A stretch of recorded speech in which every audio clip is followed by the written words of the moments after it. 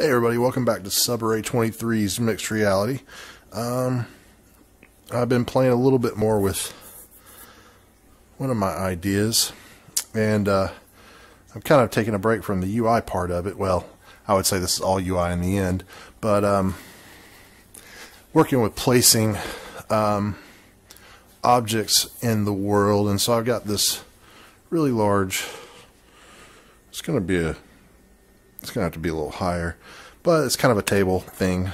And then I've got a screen, which will have lots of information eventually.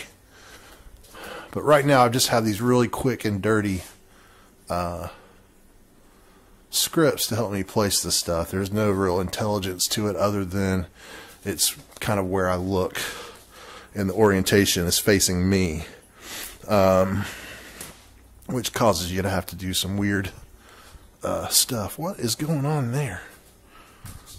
Anyway, so this is part of my window view. So what I've done here, and y'all may have seen the older version I've, I worked with. The, the, I don't have a skybox in this one, but um, so I created this window view.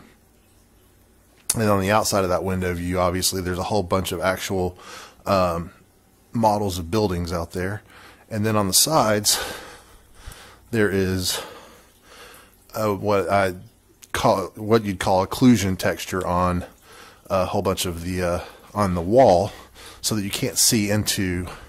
It just kind of makes it look like it's actually indoors.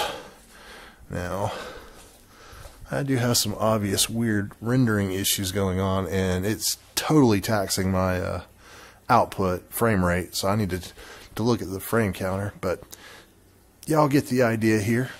Uh, this is these are, as I've said before, mood setting details for the game. But um, thanks for watching, everybody. Make sure you like, comment, subscribe, and all that. And I'll see you in the next one.